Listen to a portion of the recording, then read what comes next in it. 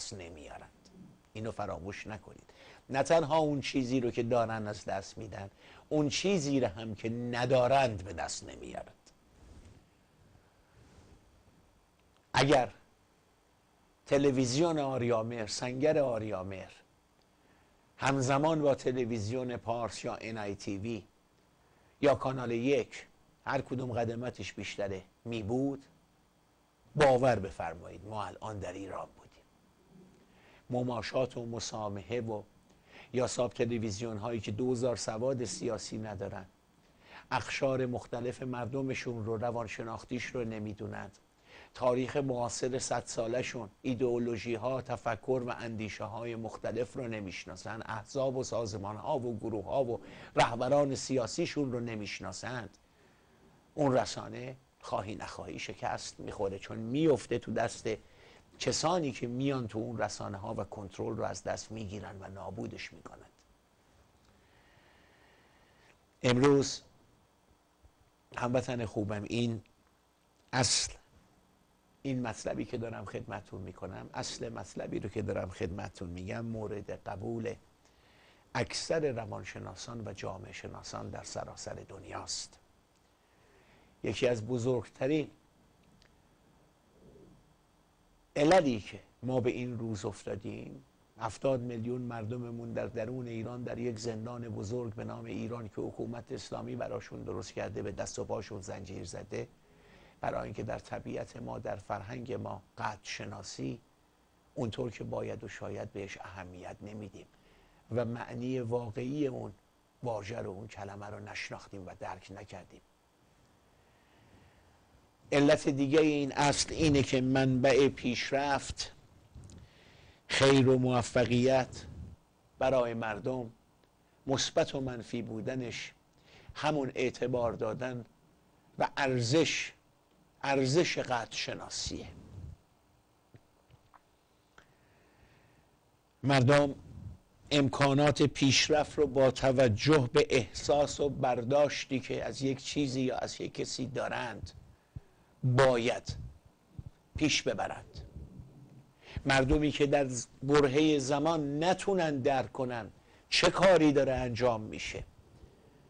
اون کار مثبت یا منفیه و با موج حرکت کنند اون مردم مقطعی زندگی می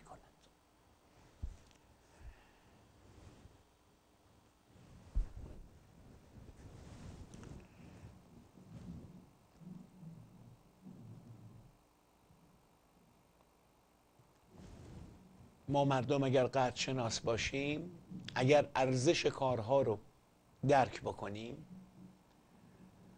اگر کاری رو که داریم انجام میدیم هر کدوممون بسته به توانایی هامون نقطه های قوت و ضعفمون این کارها ارزشش رو مردم بشناسند و از اون کار قدر شناسی بکنند به کمک خودشون در پیشبرد اون کار همت بگمارند.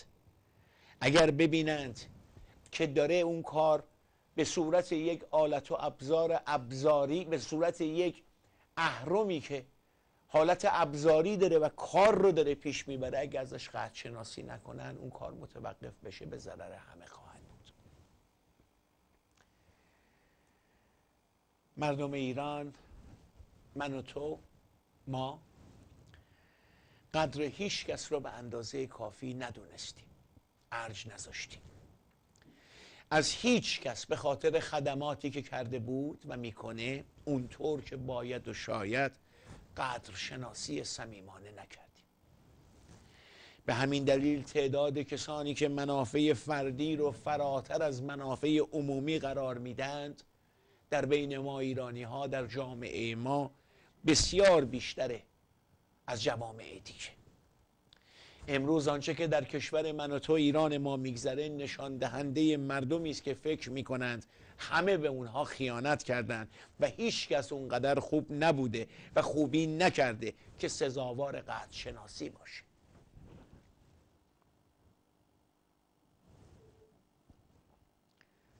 نمونه بارزش رضا شاه کبیر. کارنامه ای داره که از سوی دوستان و دشمنانش مورد ارزیابی قرار گرفته. یا مورد ارزشیابی قرار گرفته.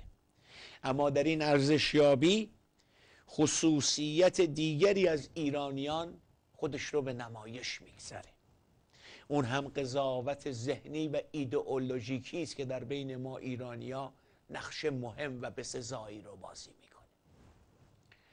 اکثر روشنفکران اکثر روشنفکران ما تربیت شدگان ایدئولوژی های مختلف هستند و بزرگترین بدبختی ما همینه که اون ایدئولوژی عینک ایدئولوژی یا چشمانی که با ایدئولوژی همه جا رو می‌بینه چنان انسان رو مسخ می‌کنه چنان انسان رو از خودش بیخود می‌کنه که از درک واقعیات و دیدن واقعیت اون آدم رو محروم می‌کنه مثل خان بابا تهرانی. مثل نیروهای چپ ما که ایدئولوگ هستند. مثل جبهه ملی های ما که آنچه که جلوی چشمشونه 28 مرداد و مصدقه و بسیاری از برنامه ها و پروژه های رژیم با همین نقاب هایی که اینها دارن یا واقعیتی که بهش اعتقاد و ایمان دارن زندگی ما رو تاریخ معاصر ما رو چند نسل ما رو نابود کرده و دگرگون کرده.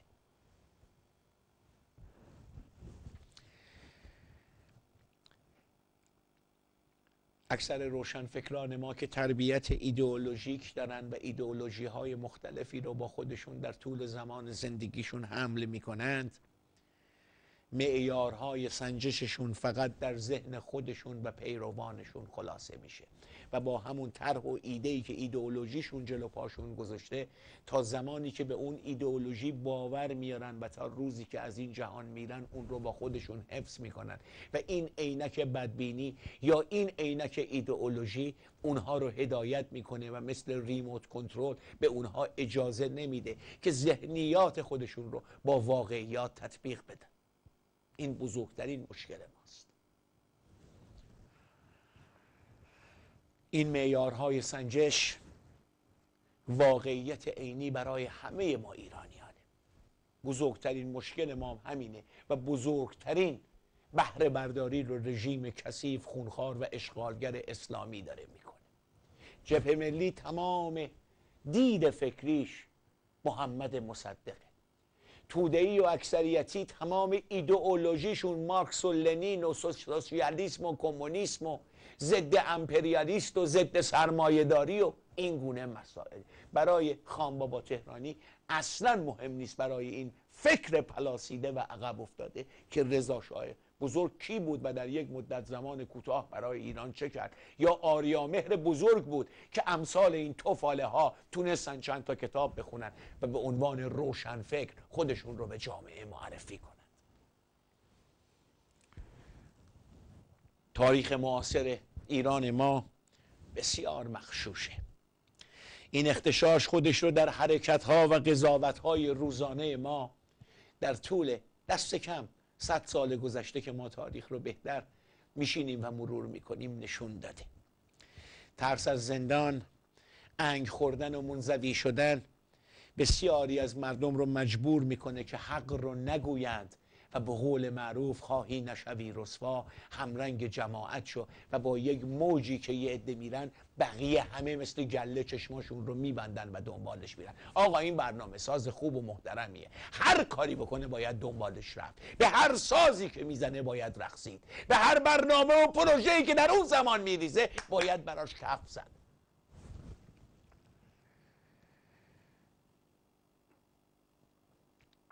مردم ما قضاوت هاشون دست جمعیه. مردم ما مطابق میل ایدئولوگ هاشون تز اونهایی که براشون تز می نویسن اونهایی که براشون کتاب می نویسن اونهایی که وقتی می‌تونن یه عده رو به خودشون جذب کنن اون عده یک عده دیگر اون عده یک عده دیگری رو جذب می‌کنن. و در همین سناریو سازی ها و رویا پروری ها ما صد